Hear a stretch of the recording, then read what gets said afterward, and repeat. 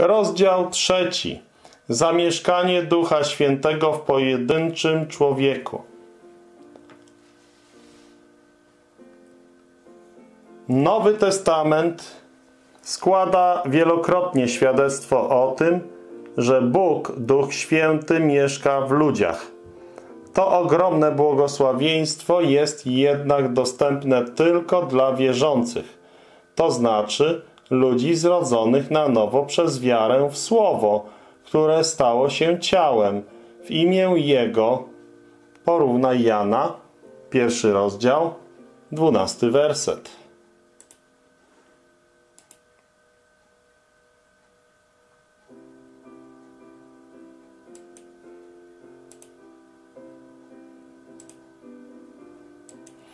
Tym zaś, którzy Go przyjęli, dał prawo stać się dziećmi Bożymi, tym, którzy wierzą w imię Jego. To prawda, że Duch Święty przebywa w tym świecie, aby przekonać ludzi o grzechu, sprawiedliwości i sądzie.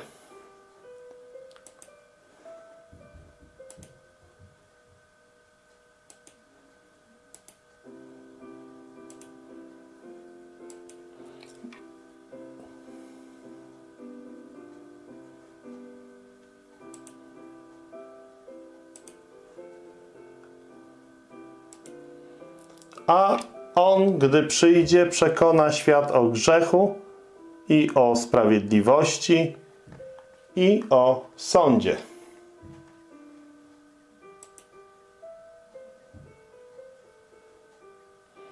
Prawdą jest i to, że działa w pojedynczych ludziach, aby doprowadzić ich do pokuty i nowych narodzin. Ewangelia Jana, trzeci rozdział, od 5 do 8 wersetu.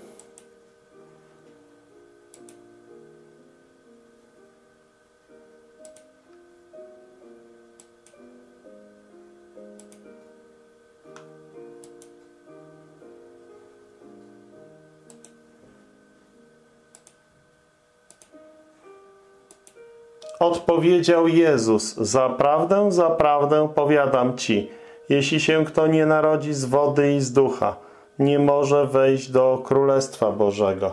Co się narodziło z ciała, ciałem jest, a co się narodziło z ducha, duchem jest. Nie dziw się, że ci powiedziałem, musicie się na nowo narodzić.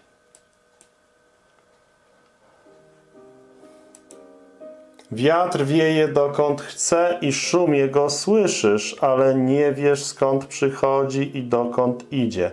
Tak jest z każdym, kto się narodził z ducha. Nigdzie jednak nie czytamy, aby Duch Święty mieszkał w niewierzącym, nieodrodzonym człowieku. Musimy nauczyć się rozróżniać pomiędzy działaniem Ducha a Jego faktycznym mieszkaniem. Sam Pan Jezus powiedział jednoznacznie – że świat nie może otrzymać ducha prawdy, ponieważ go nie widzi ani nie zna. Jana 14:17.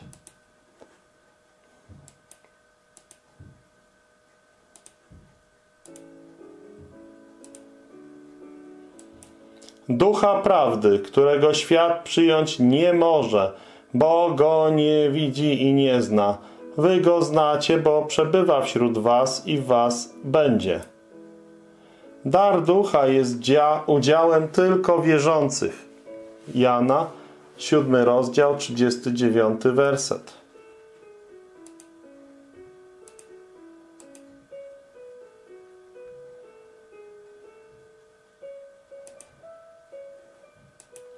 A to mówił o duchu, którego mieli otrzymać ci, którzy w Niego uwierzyli, albowiem Duch Święty nie był jeszcze dany, gdyż Jezus nie był jeszcze uwielbiony.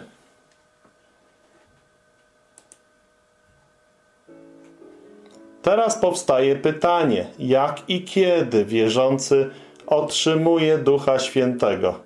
Bardzo pomocny jest w tym wypadku werset z listu do Efezjan, pierwszy rozdział, trzynasty werset.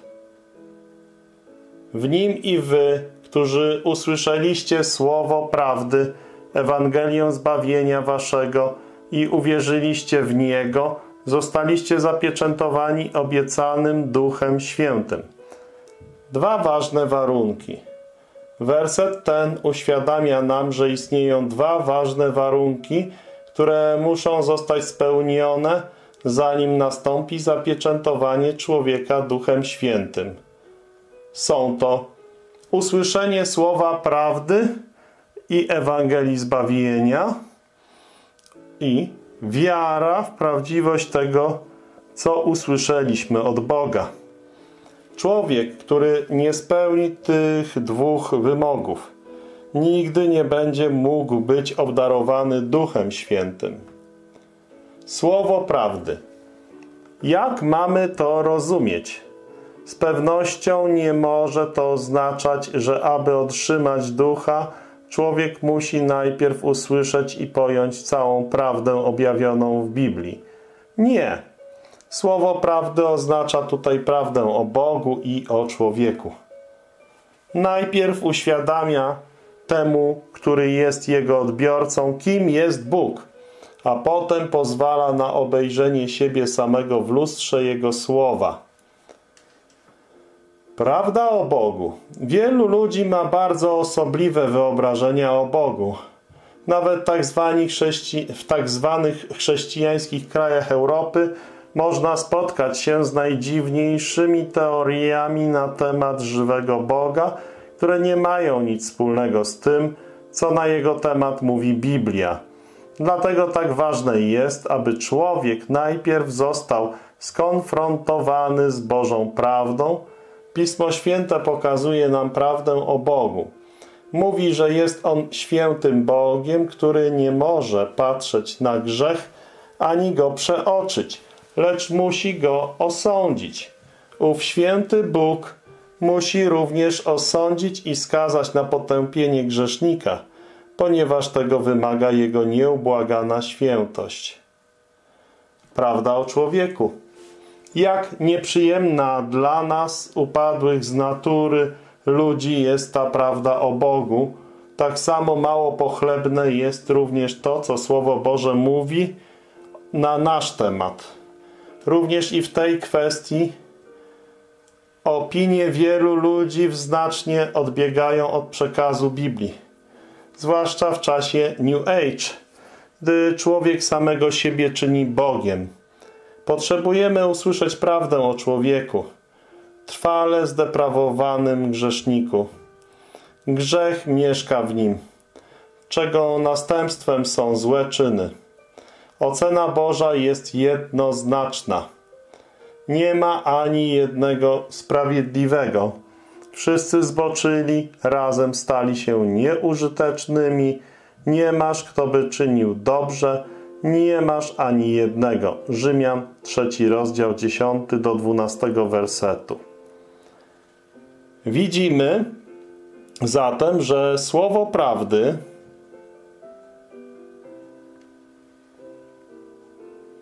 zawiera bardzo krytyczną ocenę człowieka. Musimy uznać, jak bardzo oddaliliśmy się od Boga.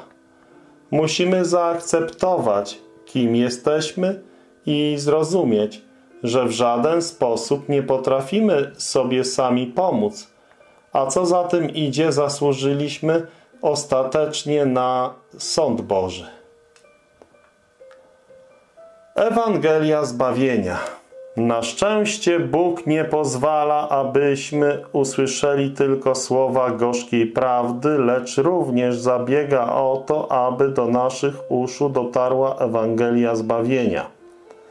Kto zasmucił się słysząc słowo prawdy, zostanie podniesiony na duchu, gdy usłyszy Ewangelię zbawienia. To dobra, radosna nowina pochodząca od świętego Boga, który nie chce śmierci grzesznika. Bóg Zbawiciel chce, aby wszyscy ludzie byli odkupieni. 1 Tymoteusza 2,4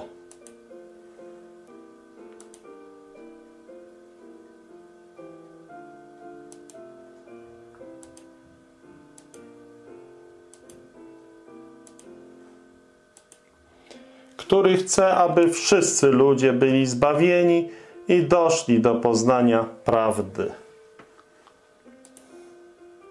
Dlatego każe zwiastować Ewangelię zbawienia. Poprzez to poselstwo pokazuje nam drogę wyjścia, drogę ewakuacyjną od zagłady. Święty i sprawiedliwy Bóg znalazł sprawiedliwą podstawę, na której może usprawiedliwić grzesznika. Dzieło dokonane przez Pana Jezusa na krzyżu. On poniósł karę, na którą zasłużyliśmy. Ponieważ tak jest, Bóg nie ukaże już tego, kto złożył swoją ufność w Jego Synu. Prawdy te zostały szczegółowo wytłumaczone na początku listu do Rzymian. Teraz Ewangelia jest Bożą mocą ku zbawieniu każdego, kto wierzy. W Ewangelii Bóg okazuje swoje miłosierdzie, usprawiedliwiając każdego, kto wierzy w Pana Jezusa. List do Rzymian, pierwszy rozdział, 17 werset.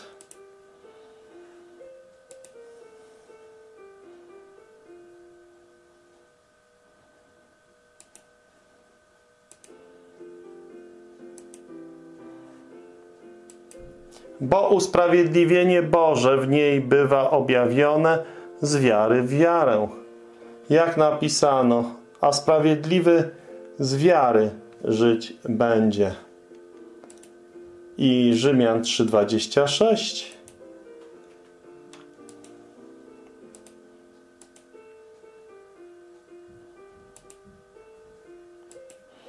Dla okazania sprawiedliwości swojej w teraźniejszym czasie – aby On sam był sprawiedliwym i usprawiedliwiającym tego, który wierzy w Jezusa.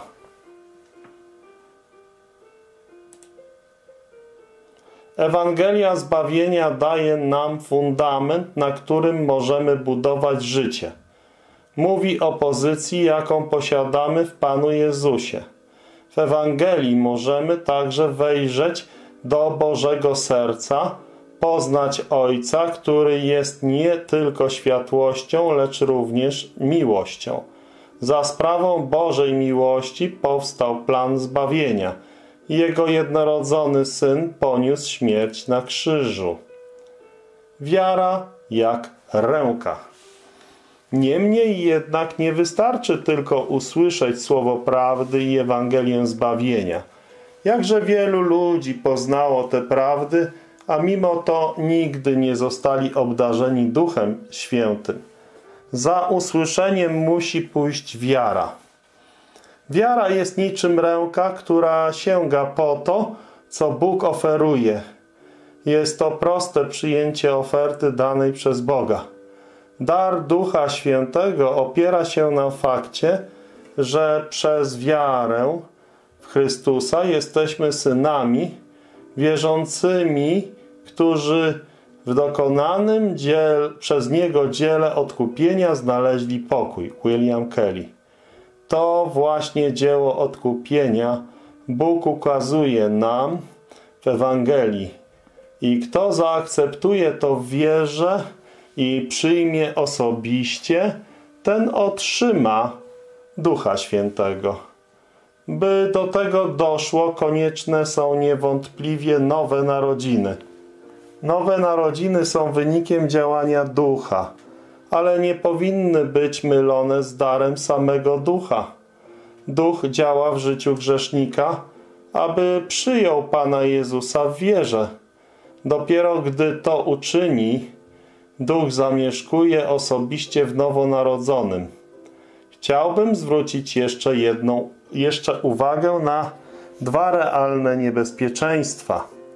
Po pierwsze, Wiara to nie jest poznanie. Bóg wcale nie powiedział, iż tylko ten otrzyma ducha, kto usłyszy słowo prawdy oraz Ewangelię zbawienia i zrozumie je. Wierzyć nie oznacza wcale zrozumieć. Oczywiście, że Bóg życzy sobie, abyśmy jako Jego dzieci wzrastali w poznaniu Jego myśli. Mimo to dogłębne zrozumienie poselstwa zbawienia nie jest warunkiem, którego spełnienie umożliwia otrzymanie ducha. Kto z nas śmiałby stwierdzić, że zrozumiał już wszystko? Wiara to ufne przyjęcie Bożej obietnicy, nawet jeśli jeszcze nie rozumiemy wszystkiego. Po drugie, wiara to nie wzniosłe uczucia. Nie otrzymujemy ducha dlatego, że coś czujemy. Wiara nie opiera się na emocjach, lecz wyłącznie na Bożym Słowie. Jedynie ten, kto w wierze przyjmuje wypowiedzi Boga, otrzymuje ducha. Nasze uczucia nie odgrywają przy tym żadnej roli. W zaufaniu opieramy się na dziele Golgoty i na niczym innym. Streśćmy wszystko jeszcze raz. Dar Ducha Świętego jest konsekwencją tego, że człowiek usłyszy prawdę o Bogu, prawdę o sobie oraz wieść o zbawieniu i przyjmie z wiarą to, co usłyszał. Tylko w ten sposób może zostać obdarowany przez Boga Duchem Świętym. Dar Świętego Ducha w dziejach apostolskich. Uważny czytelnik Nowego Testamentu stwierdzi być może, że w dziejach apostolskich spotykamy się z kilkoma przypadkami, kiedy to ludzie otrzymali Ducha Świętego w nieco odmiennych okolicznościach. Abstrahując od rozdziału drugiego, wersety od 1 do 4, gdzie opisany został chrzest Duchem Świętym, księdze tej znajdujemy cztery sytuacje, w których Duch stąpił na stałe na ludzi. Przyjrzyjmy się tym czterem przypadkom. Po pierwsze, dzieje apostolskie 2:37 do 41.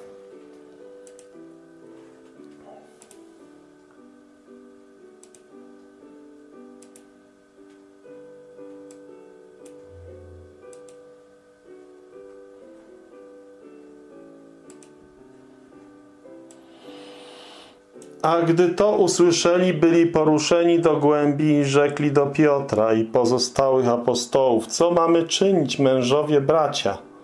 A Piotr do nich, upamiętajcie się i niechaj się każdy z was da ochrzcić w imię Jezusa Chrystusa na odpuszczenie grzechów waszych, a otrzymacie dar Ducha Świętego.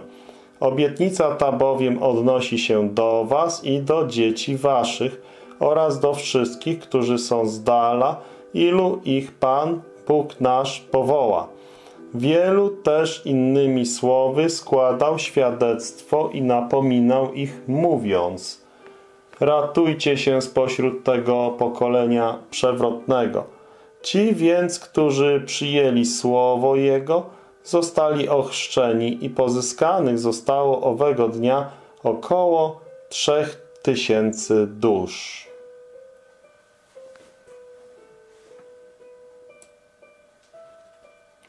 Tutaj mamy do czynienia z rodowitymi Żydami, którzy po wysłuchaniu pierwszej wielkiej przemowy Piotra poruszeni zadali pytanie, co mamy czynić mężowie bracia?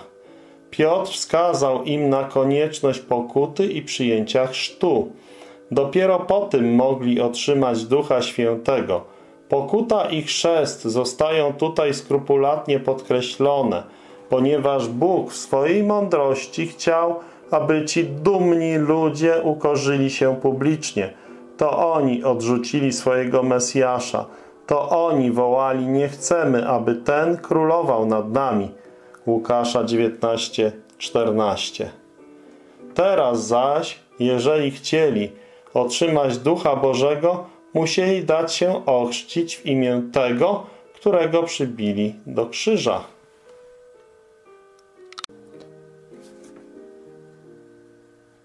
Po drugie, Dzieje apostolskie 8, 14, 17.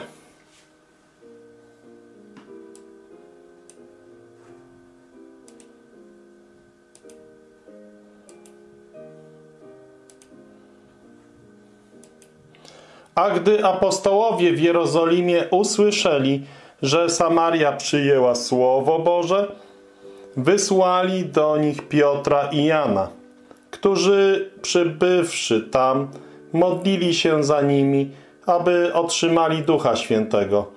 Na nikogo bowiem z nich nie był jeszcze zstąpił, bo byli tylko ochrzczeni w imię Pana Jezusa. Wtedy wkładali na nich ręce, a oni otrzymywali Ducha Świętego. We fragmencie tym mowa jest o wierzących z Samarii. Za sprawą służby Filipa ludzie ci przyjęli Słowo Boże, uwierzyli i zostali ochrzczeni, ale nie otrzymali jeszcze Ducha Świętego. Duch stąpił na nich dopiero, gdy Piotr i Jan przybyli z Jerozolimy do Samarii. Włożyli na nich ręce i pomodlili się. Skąd tego rodzaju uwarunkowania? Samaria i Jerozolima rywalizowały ze sobą, o czym czytamy m.in. w Ewangelii Jana, czwarty rozdział. Gdyby Duch Święty od razu zstąpił na wierzących z Samarii, stary duch niezdrowego antagonizmu mógłby ożyć i doprowadzić do rozłamu wśród wierzących. Przez modlitwę i włożenie rąk apostołowie zjednoczyli się z wierzącymi w Samarii. Bóg zatroszczył się o to, aby pokazać wszem i wobec, że w Jego Kościele nie może być mowy o rywalizacji i zazdrości. Przez Ducha wierzący zostali ochrzczeni w jedno ciało, a w ciele tym musi być jedność. Dzieje apostolskie 10, 34, 48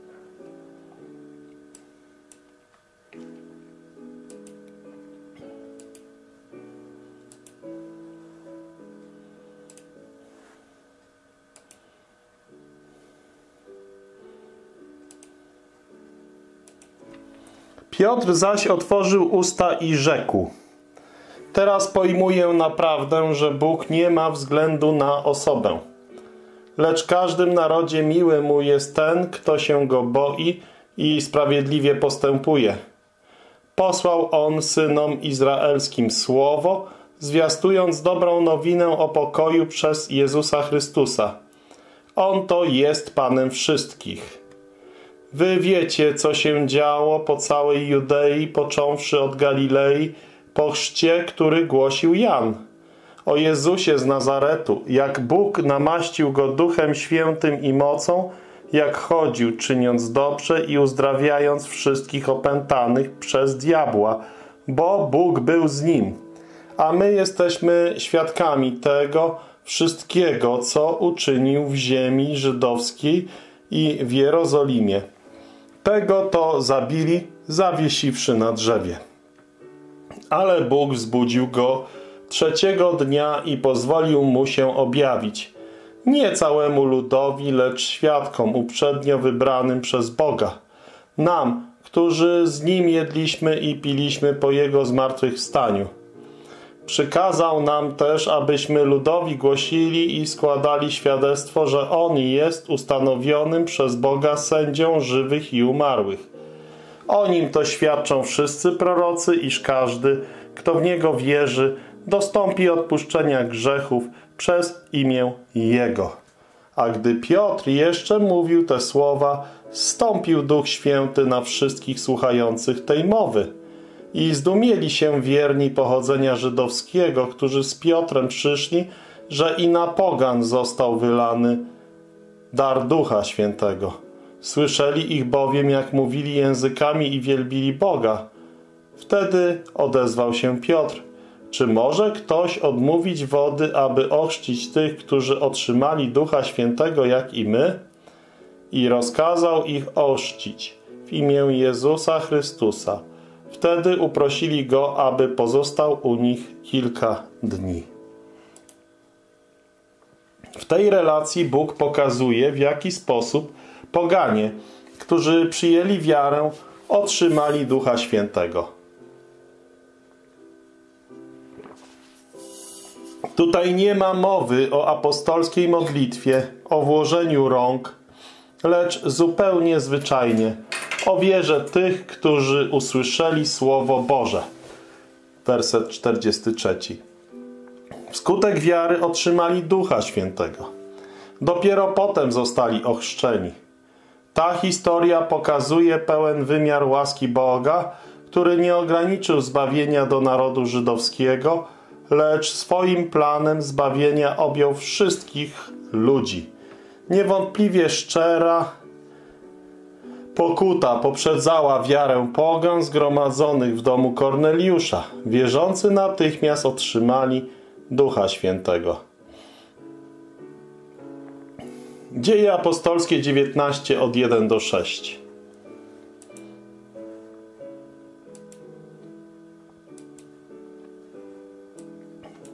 Podczas gdy Apollos przebywał w Koryncie, obszedł Paweł wyżynne okolice i przyszedł do Efezu, a spotkawszy niektórych uczniów rzekł do nich Czy otrzymaliście Ducha Świętego, gdy uwierzyliście?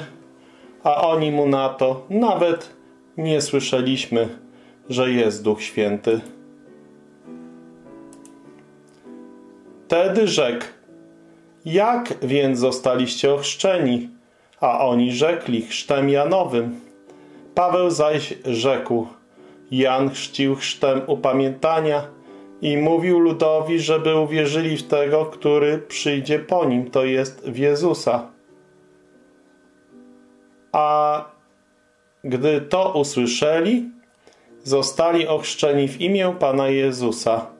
A gdy Paweł włożył na nich ręce, stąpił na nich Duch Święty i mówili językami i prorokowali.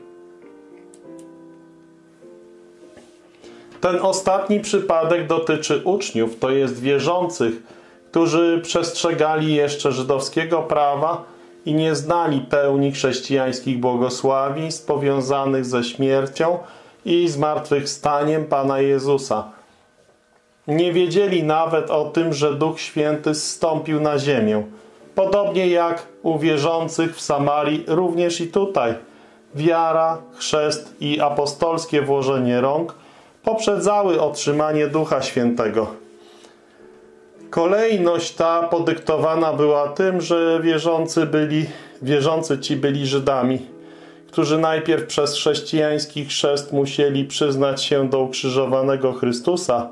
Co więcej, Bóg przez włożenie rąk apostoła Pawła chciał potwierdzić jego apostolstwo.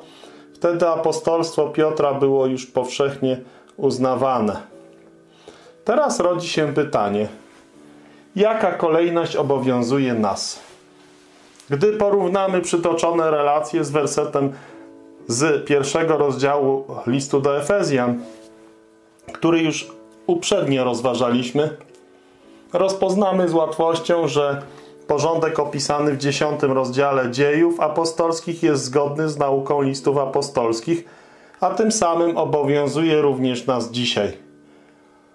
Trzy inne przypadki stanowią jednorazowe wyjątki i są wydarzeniami o szczególnym charakterze. W rozdziale drugim mowa jest o Żydach współodpowiedzialnych za śmierć Pana. W ich przypadku szczególną rolę odegrał chrzest mający charakter oficjalnego przyznania się do ukrzyżowanego. W rozdziale ósmym przedstawiono specyficzny stosunek Samarytan do Żydów, zaś w rozdziale 19 apostolski urząd Pawła. Przypadek w rozdziale 10 opisuje dar Ducha Świętego dla wierzących z pogan i wymieniona tutaj kolejność jest wiążąca dla nas również dzisiaj. Pamiętajmy zatem, że dar Ducha jest skutkiem słuchania Słowa Bożego i wiary. Potwierdzenie tego faktu odnajdujemy również w liście do Galacjan, trzeci rozdział, piąty werset, gdzie Paweł stawia pytanie. Czy ten, który daje wam ducha i dokonuje wśród was cudów, czyni to na podstawie uczynków zakonu, czy na podstawie słuchania z wiarą? Dar ducha nie jest następstwem własnych uczynków ani modlitwy czy nałożenia rąk przez innych, lecz konsekwencją przyjęcia Bożych słów zawartych w Ewangelii – Chciejmy pozostać przy tej prostej do zrozumienia prawdzie Słowa Bożego i nie słuchajmy innych obcych głosów.